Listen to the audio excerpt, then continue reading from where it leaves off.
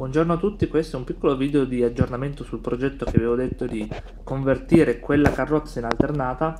Eh, per adesso attraverso un decoder di funzioni ci siamo riusciti, tanto è vero che eh, siamo riusciti a ottenere già il controllo delle luci bianche e rosse, peccato in modo invertito, nel senso che non essendo stato ancora programmato, ma essendo in modalità eh, di fabbrica, in questo momento il, il, treno per lui sta andando indietro.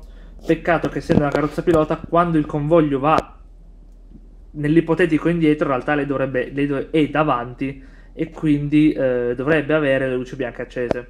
Inoltre, non essendo programmate le funzioni, le uscite delle funzioni, eh, tutta la parte di illuminazione interna non è ancora eh, non funziona, però eh, a, tes- a, testimoniare il fatto che funzionerà è che se io vado a collegare manualmente il cavo da, a, eh, direttamente alla fonte energetica, queste funzionano.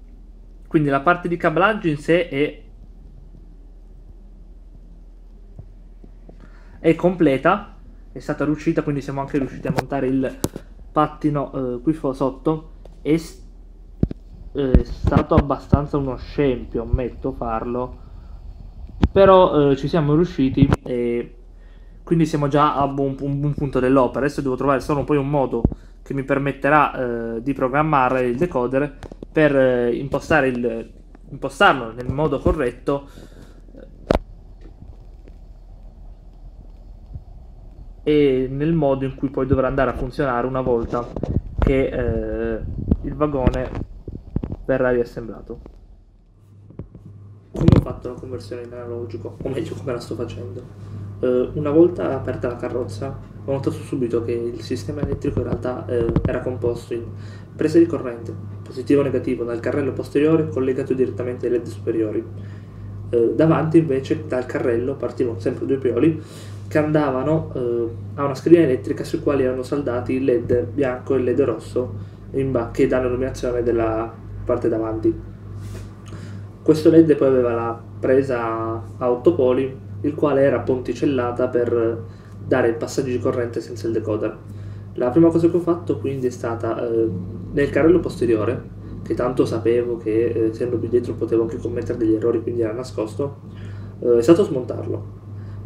Quindi dissaldare i due poli dal carrello posteriore all'illuminazione sopra, come anche indicato nel manuale, perché giustamente i LED dovranno ricevere corrente solo da una parte e non da dietro.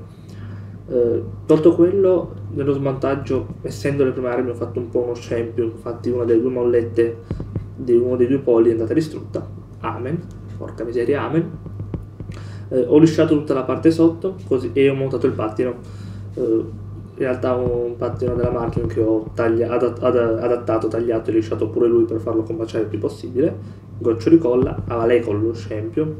Fermo modellisti, non guardate questo video se no mi denunciate. Eh, poi, dato che il tipo di carrozza era di un certo livello, aveva tutto di fianco alla parte, eh, alla zavorra centrale, delle canaline eh, predisposte dal produttore per far passare i fili dal carrello posteriore al carrello anteriore. Questo per il funzionamento in eh, digitale. Quindi ho usato quelli. Da una parte ho collegato l'ultima molletta che c'era come messa massa quelle davanti. Quelle del carrello davanti infatti le ho ponticellate fra di loro in modo tale che non, che non fossero più separate ma collegate. Questo perché eh, essendo nato in continua l'asse era elettricamente isolato.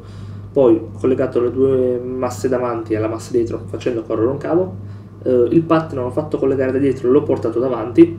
Sulla schedina elettrica dove c'erano prima il polo positivo e il polo negativo ho messo positivo il pattern negativo eh, la massa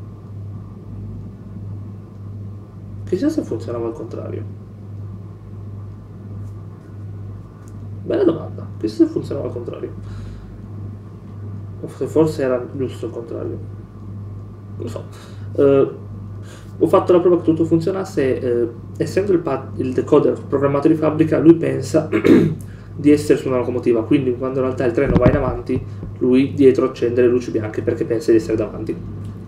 Ora credo che questo sia solo un problema di programmazione perciò quando riuscirò, università permettendo e mezzi permettendo perché non ho nulla per programmarlo, dovrò invertire due valori in modo tale che eh, quando il treno va avanti lui accende le luci rosse e quando va indietro accende le luci bianche.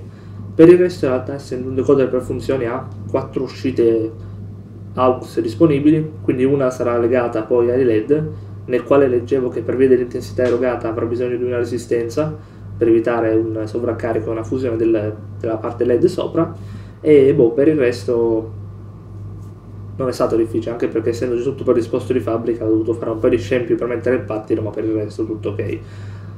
Vedremo mezzi università permettendo quando riuscirò a programmare il decoder a finire il progetto, quello sarà un altro video e buona fortuna a me.